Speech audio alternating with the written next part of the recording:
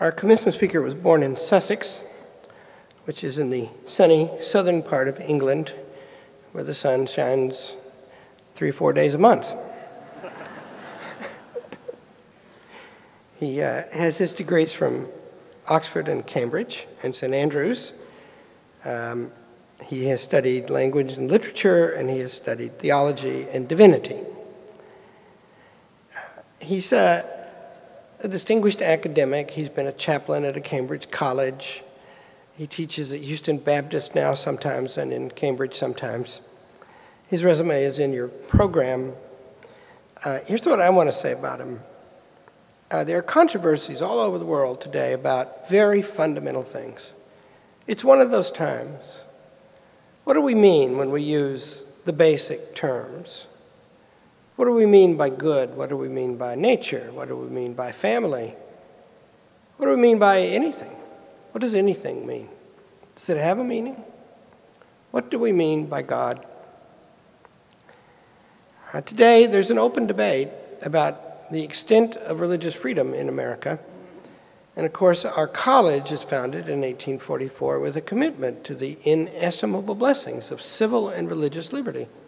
And that is America's central idea, the first in the, in the world to be born that way. And now we debate the extent of it, and many claims are made that it is a dangerous and an unworthy thing. And so, in such a time as that, it matters so much if somebody knows about God, can think about Him, and argue about Him, and explain about Him.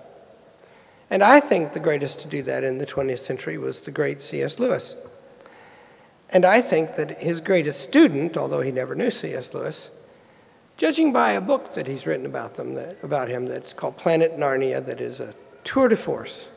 It's just an awesome piece of work.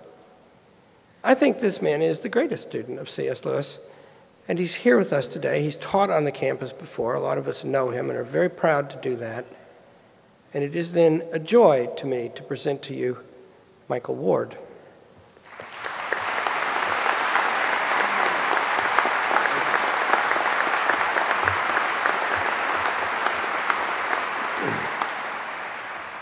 Thank you, President Arnn. Class of 2015, honoured guests, faculty, members of the Board of Trustees of Hillsdale College. I bring you cordial greetings from your erstwhile colonial overlords. I bear warmest felicitations from Her Majesty the Queen, Professor Stephen Hawking, from James Bond, Sherlock Holmes, and the entire cast of Downton Abbey.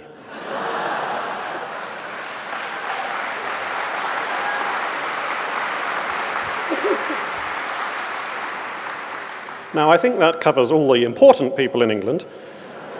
I, on the other hand, am distinctly unimportant, so I'm all the more grateful for the invitation to be part of this very special day. Thank you for having me. It's a great honor. I only hope I can say something worthy of the occasion. And I must say this before I say anything else. Congratulations, class of 2015.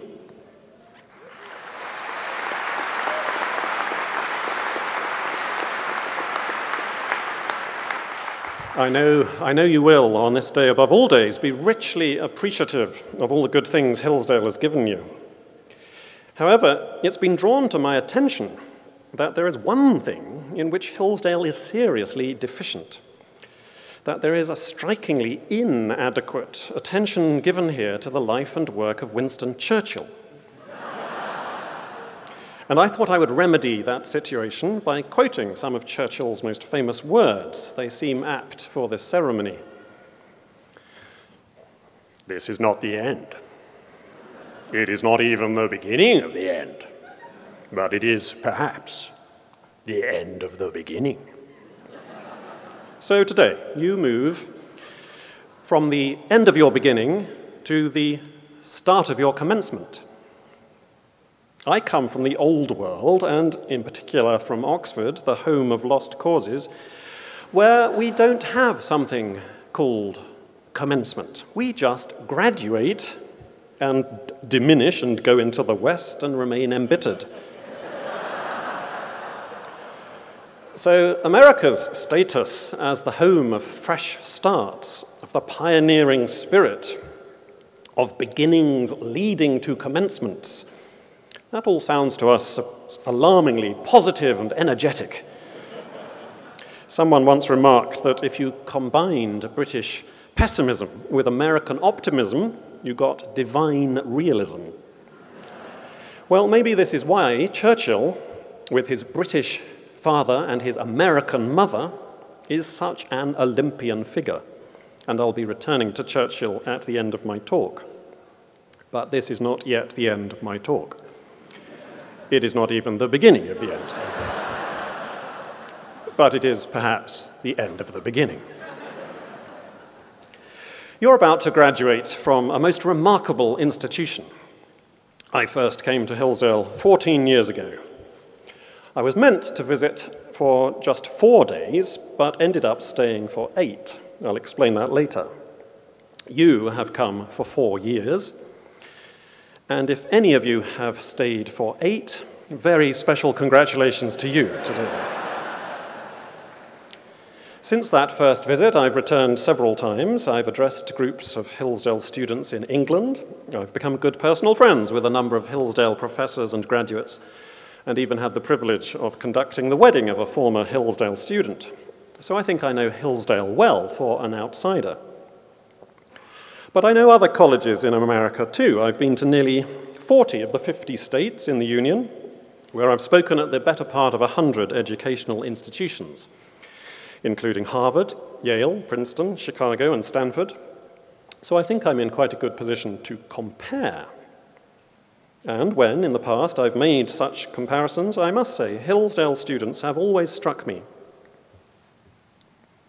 That's it, they've always struck me.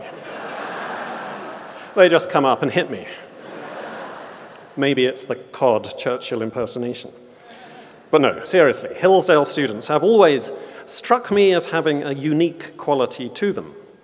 And what is this unique quality? I've often tried to work out what it is. And writing this commencement speech has given me a good excuse to consider the question in more depth.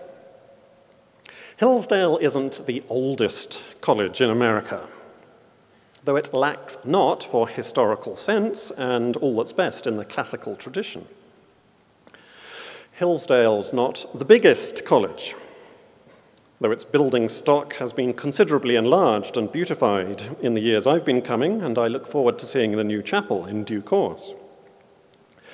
Hillsdale's not the richest college, though I understand the capital campaign has been going well, so well that President Arnn can expect to be contacted soon by the patent attorneys of King Midas.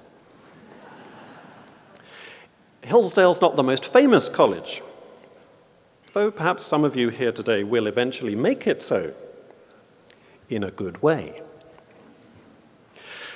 So, if it's not the oldest, the biggest, the richest, or the most famous, where else could Hillsdale's special quality possibly lie? Well, only in the most important thing, namely its ability to produce quality of mind. Students here have a quality of mind that I've simply not encountered in the same way so reliably elsewhere. But what do I mean by quality of mind?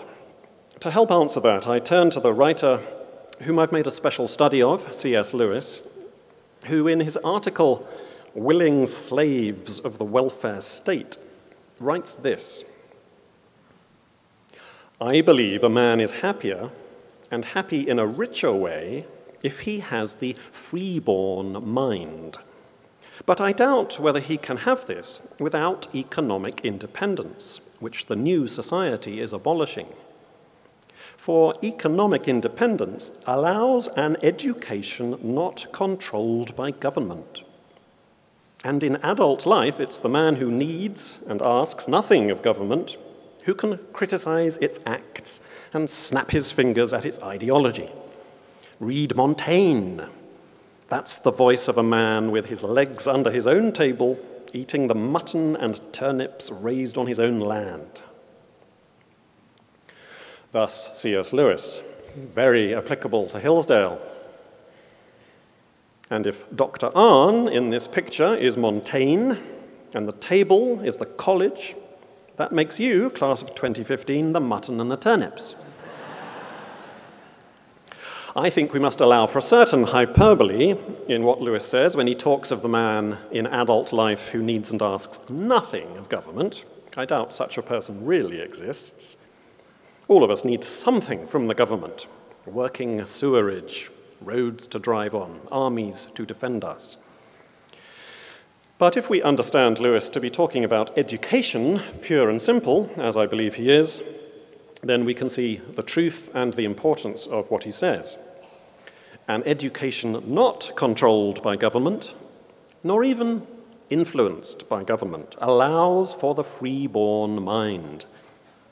Allows for doesn't automatically and necessarily provide the free-born mind. One can still be servile and indentured in other ways, shackled by the zeitgeist, for instance, or subject to parti pris.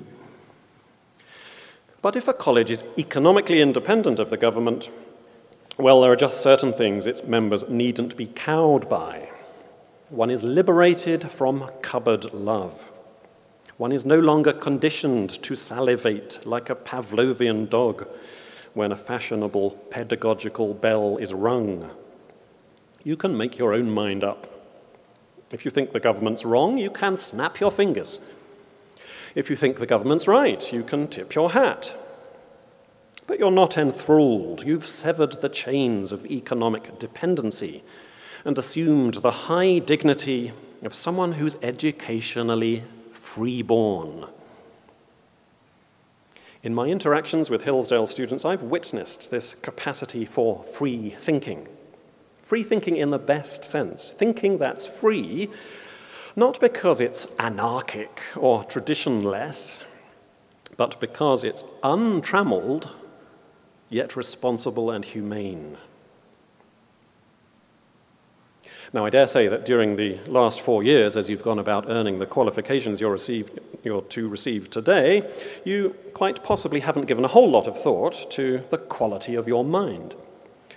And if that's the case, I say so much the better. You've been exercising your liberty, not thinking about it. And by highlighting it today, I don't mean to turn you all into narcissists. It's the invalid, the hypochondriac, who's forever thinking about and fetishizing his health. The healthy person just gets on and lives a healthy life. So, if you've been enjoying the liberty of Hillsdale without often reflecting upon how it gives your mind a certain tone, well, that's right and proper. And it's a wonderful thing to see students breathing the clean air of intellectual liberty. There's a dignity, even a nobility, about students who've been formed in this way. And I hold this mirror up to you today, not so you may become vain, but in order that you may catch a glimpse, however brief, of your own intellectual shapeliness and give thanks for it.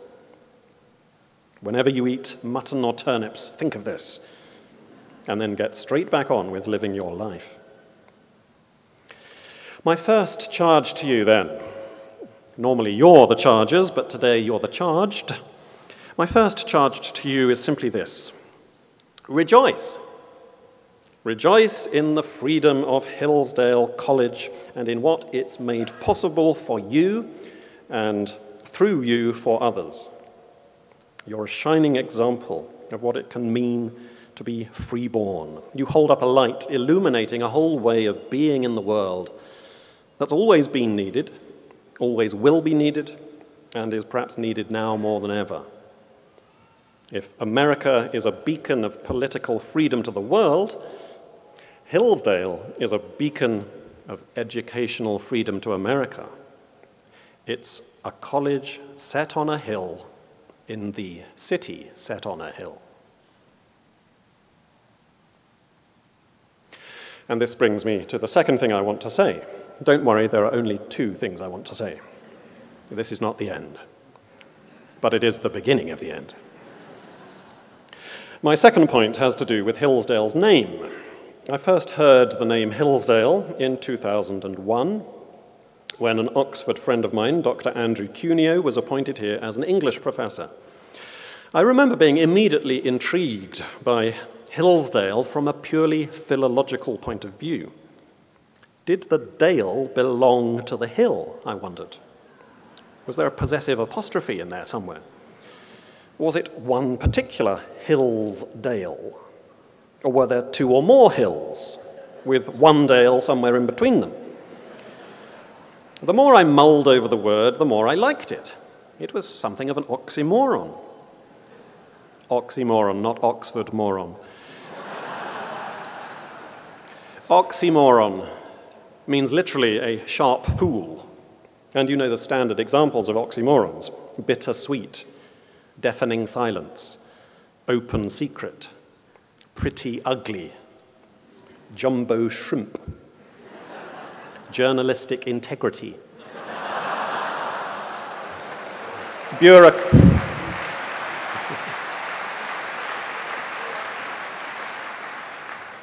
bureaucratic efficiency, governmental restraint, French intelligence,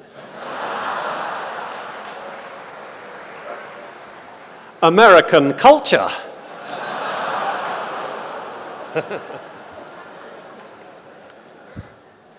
British humility. So, in the months when my friend Dr. Cuneo was preparing to leave Oxford and come to Hillsdale, I kept saying to him, Where are you going again? What's this college called? Peaks Vale? Heads Tail? Tops Base? Tips Pit. I was particularly pleased with Tips Pit because that's a palindrome as well as an oxymoron. and I was all the more intrigued by the name because it had a certain resonance with the great novel I wrote in the years after I graduated. When I say I wrote this great novel, I don't mean it was ever published, nor that it was ever really written, but it was extensively imagined. As a 22 year old graduate in English, I thought I was ideally equipped to write the next great British novel. And I spent two and a half years trying and failing to do this. And my story was set, this is God's own truth, my story was set in an English village called Tordale. Tor, of course, meaning a crag or a rocky peak. Now, there is no actual place in England called Tordale. It was the inventing of my own pure brain. But I made the name up because I thought it would be a subtle yet very profound symbolic way of suggesting one of the great themes of the novel, which was that the highest doesn't stand without the lowest. The head cannot say to the foot, I have no need of thee the scriptural epigraph behind the whole work was going to be Psalm 95, verse 4. In his hand are the depths of the earth, the strength of the hills is his also. And this theme was of some personal significance to me, because I was finding in those years immediately after graduation that I'd gone from the heights to the depths. I had had a glorious undergraduate experience at Oxford. I loved my subject. I did well academically. I made great friends. I enjoyed sport and music and drama and church life. It was everything that Jude the Obscure could have wanted. My best pal and I would sometimes crystallize this happiness by saying, Ah, jolly Oxford days as if we were already octogenarians summoning up remembrance of things past. And then it all ended. And I was back home living with my long suffering parents. The opportunities and stimulation of college life suddenly withdrawn, relatively few friends, having to come gradually to terms with the fact that I wasn't going to be the next great British novelist in those two and a half years, I earned precisely £250 from my pen. £50 every six months. It was a regular income, but it was a major come down. And I think quite a lot of people find the years straight out of college to be some of the hardest in life. All the educational framework which you've used to hold yourself up, and which in large part you have defined yourself by, is taken away, and you're like a climbing rose without a trellis. And you either lie on the ground and rot, or allow yourself to be pruned and get turned into a rose bush that can stand in, uh, in its own integrity. Well, I rotted for a while and became fairly depressed. I won't pretend otherwise. But then, thank God, that mysterious thing happened that the psalmist mentions in Psalm 84 when he speaks of the man who, going through the vale of misery, makes it into a well. You lie there in this vale of misery, hitting your head on the ground. And slowly you become aware that the water collecting there isn't just made up of your own lachrymose self pity. There's a fresher source of water too.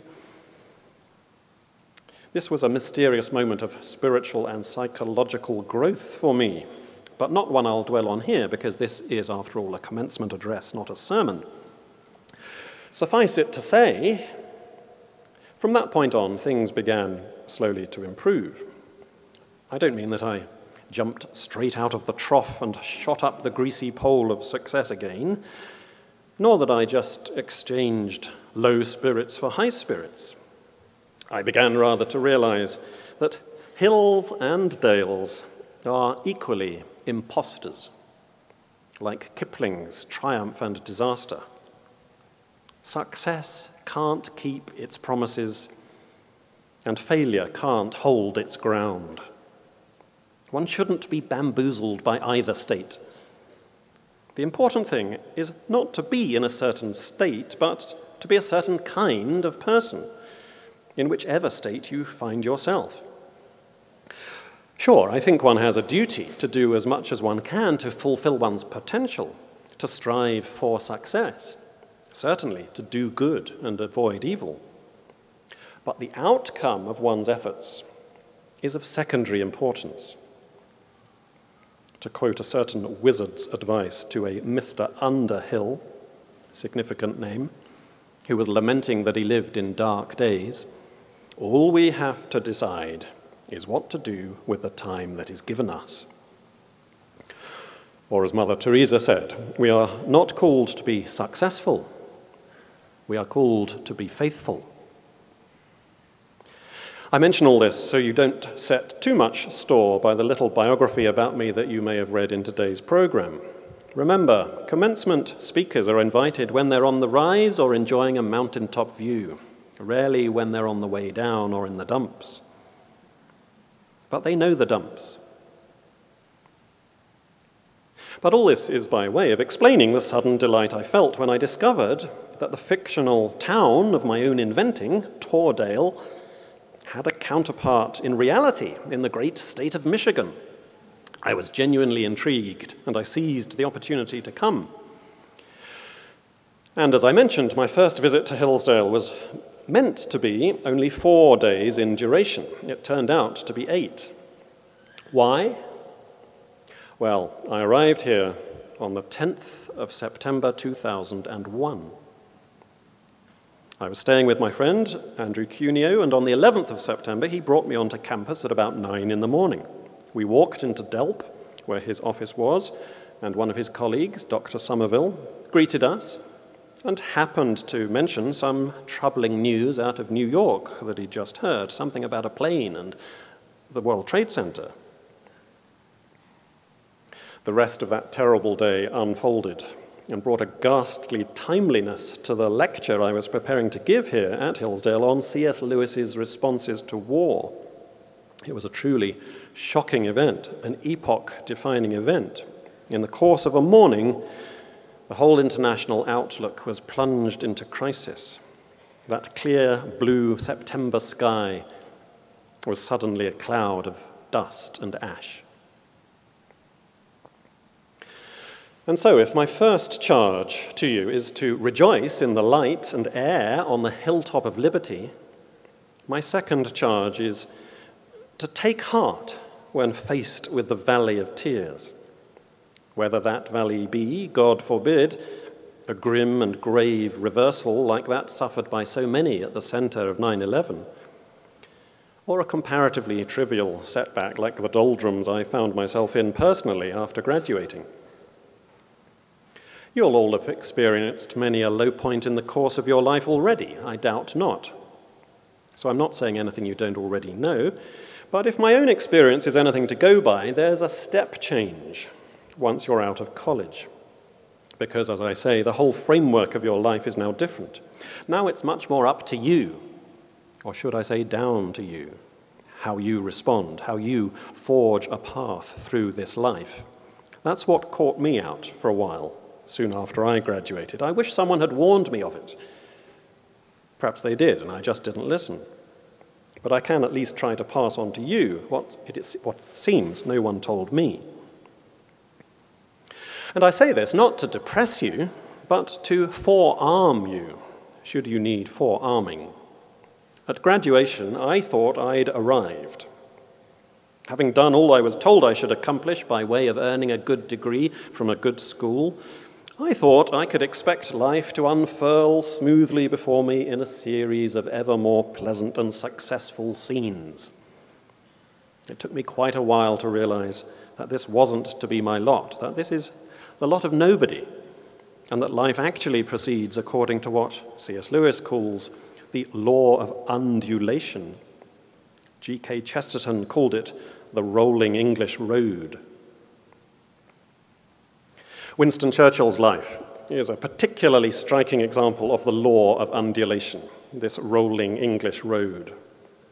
Not only because his was a very long and very public life, but because its heights and its depths were, were of extraordinary amplitude a happy marriage with five children, but two predeceased him. A glittering early career marred by the Dardanelles. Restoration to political prominence, but then the wilderness years. The immortal triumph of his combat with Hitler, followed by summary expulsion from national office, and many other ups and downs besides. But one of the things I admire about Churchill is that he didn't just let these things happen to him. His life may have been a roller coaster, but he was more than a mere passenger.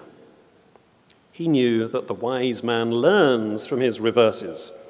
He doesn't just defy them, he turns them to effect. Churchill responded to the low points in his life with the muscle of his will, yes, but also with the artistry of his soul. And I think we see a nice illustration of this in his passionate interest in painting. If you haven't read his Painting as a Pastime, do. It's one of the great things that he wrote. He took up painting during the Great War, and I have the sense that painting for him was more than, I, more than just a, a diverting hobby, more than a release valve from the pressures of high office. It was also a way in which he could respond creatively, artistically, to difficulty, transmuting it into something noble and beautiful. The white canvas didn't simply offset the black dog. No, the white canvas became an opportunity for him to represent visually, in color and in contrast, a unified perception of diverse reality. He painted almost all his canvases in oils, and though he naturally inclined towards the brighter colors in his palette, and felt, he said, genuinely sorry for the poor browns, he knew that all landscapes possess darkness as well as light. Even a still life requires shadows. Sheer contrast, mere black against mere white, that depicts nothing of interest. There must be engagement between the two and a shattering of the white light into the full chromatic spectrum. When Churchill first began to paint, he found himself more engaged with reality, looking at things afresh, with new attentiveness, with greater intelligence. a richer integration. He wrote this One is quite astonished to find how many things there are in the landscape that one never noticed before. So many colors on the hillside, each different in shadow and in sunlight. Thus, Churchill, and from genuine Churchill to more cod Churchill. This is not the start. It is not even the conclusion of the start but it is perhaps the start of the conclusion. And what is my conclusion? Simply this Class of 2015 Rejoice in the strength of the hills, take courage in the depths of the earth. Godspeed.